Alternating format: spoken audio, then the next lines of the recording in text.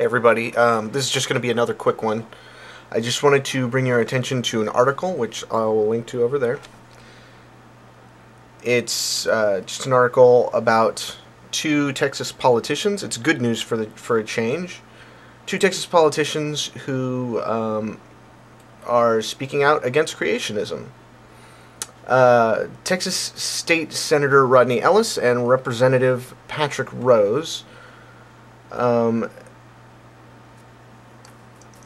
they uh, they put the uh, Texas State Board of Education, which um, seems to be dominated by the Discovery Institute.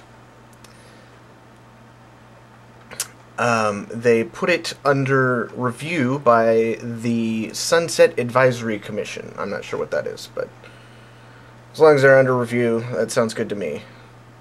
Uh, but anyway, uh, this is uh, what they say about it. Um, the decisions of the uh, State Board of Education not only impact millions of young lives on a daily basis, but impact the economic progress of our state as well. For these reasons and many others, the public has the right to full disclosure and oversight. The board has escaped such scrutiny for far too long. The disregard for educators, instructional experts, and scientists can't continue it's time to take a closer look at the operations and policies of the State Board of Education. Our state and especially our kids deserve better. This is in Texas, so anybody who's in Texas, um, you might already know about this, but if you don't, there's uh, news about your state.